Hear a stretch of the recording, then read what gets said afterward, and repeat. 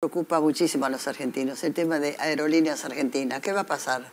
¿Usted qué piensa, Cabo?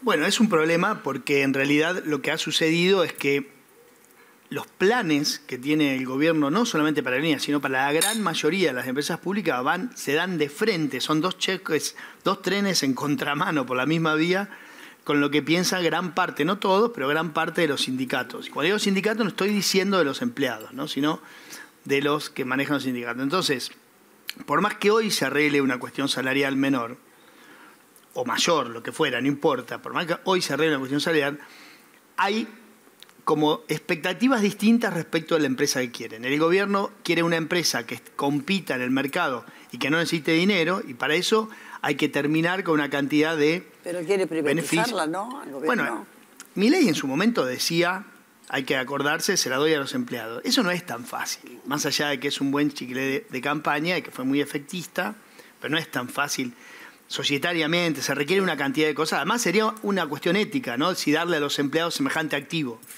¿no? Habría que ver. ¿no? ¿Pero ¿Qué- cuántos qué quedan sin viajar diariamente? Y bueno, los días que hay Creo paro... 40.000 personas, Claro, sí, sí, 40.000. los días que hay paro, 50, pueden quedarse es una 50.000 vergüenza. personas. Sí, es una es una vergüenza. una vergüenza que Que los Viró, ¿no? Viró, se llama. Viró, se llama. Miró es el más combativo, El más que es el de pilotos, claro. y ahí hay una... Es interesante, porque ahí sí hay un eje del gobierno que es tratar de terminar con el... eh, con el mandato, o, o con la ascendencia que tiene Miró, Viró, perdón, sobre especialmente los pilotos que son fundamentales. ¿no? Para- Miró es otro. Entonces, claro, eh, con lo cual, e- ese es un punto, es Pero un punto y ahí va a venir una pelea fuerte. viviendo. Una ¿eh? cosa ahí. Hubo un paro inicial por diferencias salariales. Sí. Ponele, a pesar de que ganan muy bien. Ahora, este paro, el nuevo, el de hoy, Sí. es un paro en protesta de que Aerolíneas echó a tres eh, pilotos como consecuencia que se negaron a llevar una aeronave a mantenerla a Estados Unidos por el bien de la gente. Sí. Claro, en O realidad, sea, eh, lo que... flaco, sí, son no, no. delincuentes. ¿Cómo? O sea, la convocatoria del paro es previa, lo del despido de los tres pilotos Sí, empeoró pero la... eh, está, o sea, todo, todo lo que es es toda una mesa de, de- Sí, sí. de canjes y de presiones, ¿no? O sea, cualquier decisión, así sea comercial de la compañía, cae en esa misma bolsa donde hay una cuestión ideológica muy fuerte, pero muy fuerte respecto a los gremios. De hecho, lo han dicho, ¿no? Y mm, eh, ¿Qué es lo que han dicho? han dicho de que hay que pasar sobre su... va a correr sangre, o sea, han sido absolutamente Quiero que claro, ideológicos. Hay gente que está intentando sabotear un gobierno, no es gente que va por una lucha salarial Es interesante ¿no? un tema, Mirta, que sucedió en la semana.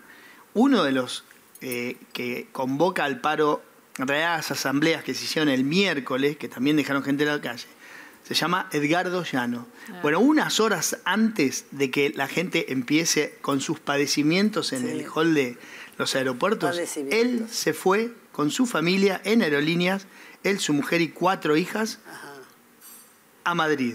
En clase ejecutiva y gratis. No lo sé si en clase ejecutiva.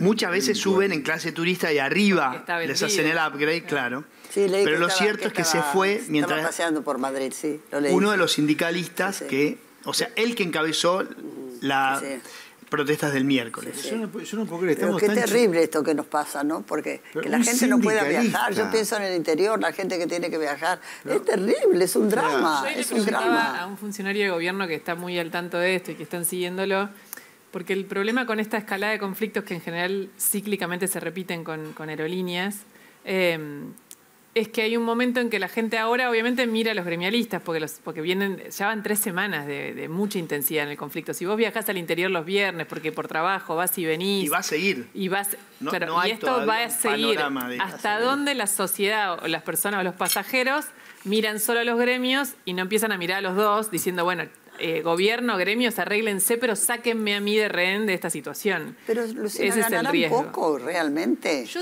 justo hoy miré, porque hoy, hoy eh, me ocupé de ver eso. Eh, Diego debe saber más que yo todavía cuánto ganan. Eh, los sueldos son más o menos entre 5 y 11 millones de pesos de los pilotos. Sí. Eh, y tienen un montón de beneficios Claro. adicionales que no tienen los de otros aerolíneas. Claro, ese, es el problema. el porque costo de vida sube.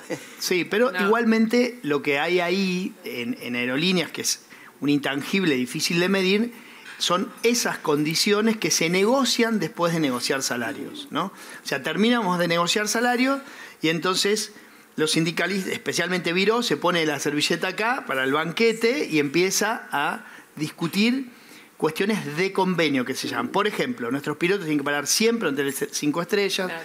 nuestros pilotos en vez de descansar dos días descansan cuatro, nuestros pilotos, por ejemplo, para el cumpleaños, en vez de tener un día que no les programan vuelos, como a todos los empleados del sector privado, que en general las empresas les regalan o nos regalan nuestro día de cumpleaños, bueno, a ellos dos, por si se exceden el día uno, ¿no? Al otro día no les programan vuelo por si hay hubo exceso en el festejo, entonces ya son dos días.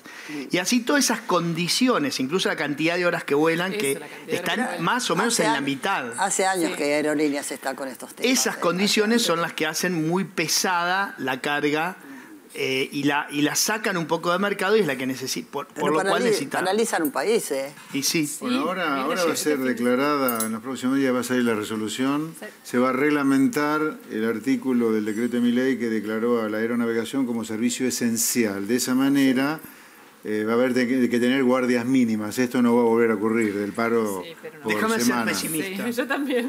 déjame ser pesimista. Bueno, entonces hay que cerrar los niños. No, ¿qué no. Bueno, No. quizás es una opción. Lo que digo es Y declaremos hilos abiertos de reglamentar, manera... no, pero regla- reglamentar ese tipo de cosas en algo que es un engranaje que te lo pueden parar con cualquier cosita que falle en la otra punta del engranaje. peor es no hacer nada. Peor es no hacer nada. Peor, Peor es no nada. estos delincuentes que dejan a 37.000 personas varadas, varadas durante diario días. 37.000, 24 horas, sí. eh. De viernes a las 12 del Son mediodía hasta sábado a las 12 del mediodía. delincuentes. Pero No, ¿cuántos, te- sindicalistas, cuántos temas son que hay que solucionar en Argentina? ¿Eh? ¿Cuántos temas que hay Bueno, que no, a solucionar? ver, ¿Cuántos tengámoslo temas? claro. Los Argentina está jubilados, los destruida. desocupados, el hambre, los La educación, por ejemplo, la educación. La indigencia. educación.